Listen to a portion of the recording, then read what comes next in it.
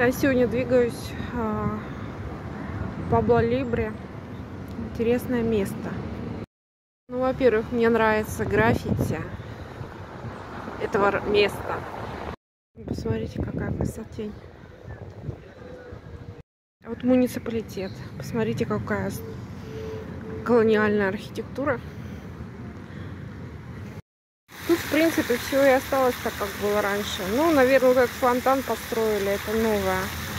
А вот то, что касаемо архитектуры, площадки и так далее, то это вот еще сохранилось с тех времен. Что мне очень нравится, и я это люблю. Соприкасаться с, с историей. Видите, какое произведение искусства из дерева сделано. Этой церкви 500 лет в обед. Ну а теперь ближе к архитектуре.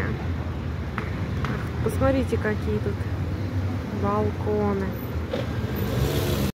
Такое старое здание с такими дверьми интересными. А вверху посмотрите, как украшено. Вроде обычная улочка, а вот граффити необычная.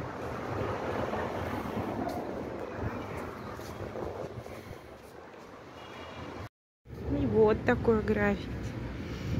Симпатичное. Уже рушится потихоньку. А вот, посмотрите, какое симпатичное сооружение.